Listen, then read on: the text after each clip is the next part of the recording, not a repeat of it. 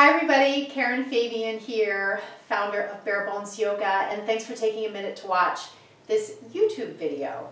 So um, if you followed my videos before, you know that I focus on anatomy, and I came out of a training that I did this weekend, and we were beginning to break down anatomy into its discrete parts. And this is always a fun process for me to start out with a new group and to start to dive into the subject of anatomy. Now I have a very specific way that I break anatomy down into its distinct parts so that it's much easier for yoga teachers to learn.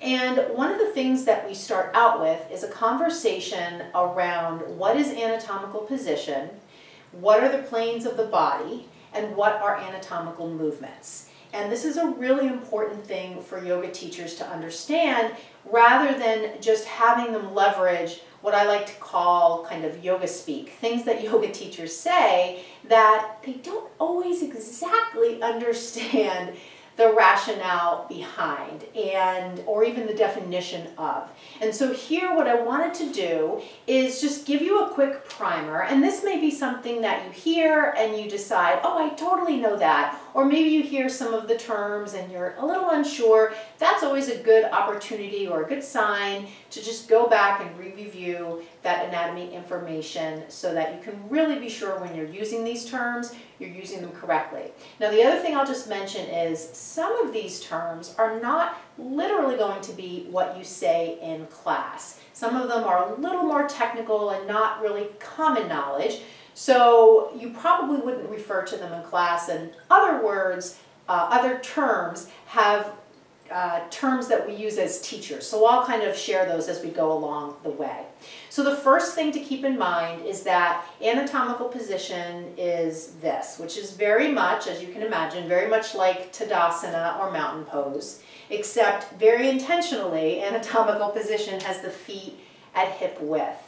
And AP is basically the position from which all the movements are described. And when I say movements, I mean movements that the joints make. Because keep in mind, as we move our body in space, we're able to do that because our muscles act upon joints, and as a result, limbs move. And so that's just kind of a really fundamental concept of, um, of anatomy and human movement and how the human movement system works. So having said that, anatomical position is this, and there's a whole bunch of ways that we can leverage anatomical position in our teaching. I'm not going to go into that here. I want you to just keep in mind in this position here, we begin to see and can begin to describe planes of the body. And when we think of planes of the body, what we're referring to is the imaginary space around the body within which these movements occur. So as I move my arms like this, I'm moving them in space. And we've actually defined that space as a particular plane of movement. If I move my leg like this, I'm moving in a different space, a different plane, and that plane is described differently as well. So let me tell you the planes of the body. So if I divide the body down the middle into a left and a right, that's a median um, plane. It's most commonly known as the sagittal plane. So sometimes people say, what's the difference between the median plane and the sagittal plane? Well, the median plane goes down the middle. The sagittal plane could be to the left or right of that. Now, if I divide a body, the body, into a left and a right, that gives me movements that happen in that plane. And these movements are known as flexion, moving forward in that plane, or extension, moving backward in that plane. So now if I take the body and I divide it into a front and a back by a line down here, then I get movements that occur in this plane. Okay, so this would be movements of abduction, abduction, moving away from the midline, and adduction, moving towards the midline. And then if I divide the body into a top and a bottom, I get the transverse plane.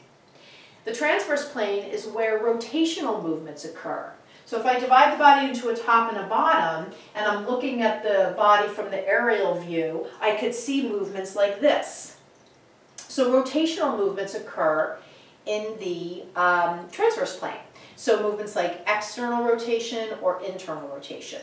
And then there are a couple of other just really specific terms. If I lean over to the side, even without my arms, if I just do this, that's considered lateral flexion of the spine. If I turn my palms forward, I supinate. If I turn them back, I pronate. Keep in mind my relationship to gravity might change, but the anatomical actions are the same.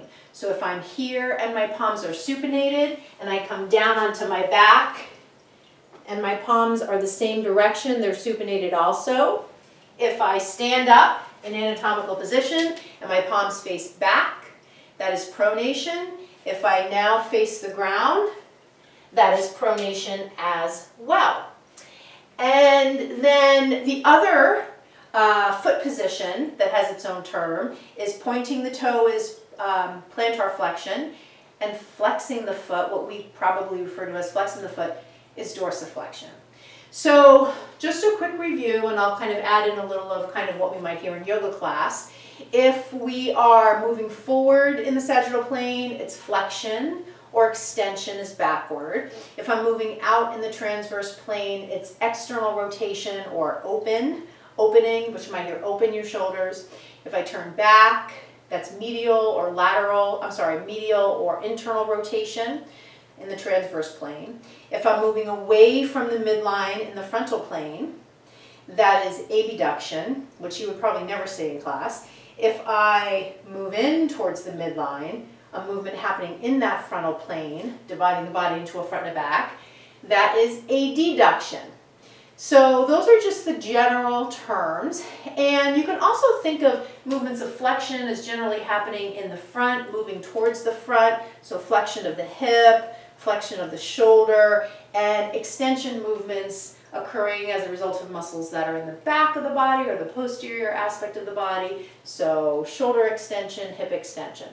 And then one last piece we'll just, I'll just share just to kind of button this all up, is that keep in mind in every yoga pose, there are many different anatomical movements happening. So for instance, if I come into dancer's pose, I would be externally rotating my shoulder, I would be moving my right hip into extension. I would have my right knee in flexion. I would have my right foot in uh, uh, plantar flexion. I would have my left hip in mild extension and my left knee in extension. Uh, I would have my right shoulder in external rotation, right? Because you don't want people to do it with their shoulder internally rotated. Uh, another example would be if I come into warrior two. Sometimes this is a little bit harder to, to get a sense of. This hip though is in external rotation while this one is in internal. And if you're confused, think about it. If you thought maybe this hip was an internal rotation, you could take that action in an extreme way and you can see here you wouldn't want your front hip to be an internal rotation. So here this hip is in a bit of external and this hip is in a bit of internal rotation. Now one last last thing I'll say about that is that keep in mind when we look at joint actions, they're measured in a range of motion. They're measured in degrees. You can think of a protractor. In this case, we don't measure angles in the body with a protractor. We do it with a goniometer, which is essentially a protractor to measure how much range we have at each joint. And because it's a range, we can see and experience in our bodies when we do yoga poses different degrees or different ranges of motion at different joints. So if I come into a yogi squat, you can see I have a very open hip shape. So I have a lot of external rotation here. But when I come into warrior two, that same hip you might not think has as much, although it is pretty similar, right? So again, just keeping in mind, there are different degrees of expression of these movements. However, it doesn't mean the movement is something different. So we wouldn't say, oh, this doesn't seem like it's super open, so it's not external rotation anymore. It probably just is not as much as we could potentially do. So I hope you've enjoyed this. I hope you have found it helpful. Keep in mind if you have any questions, you can DM me on Instagram, Bare Bones Yoga, or leave a comment here on this video. So thank you so much, so, so much for watching, and I'll see you on the next video here on my YouTube channel. Namaste.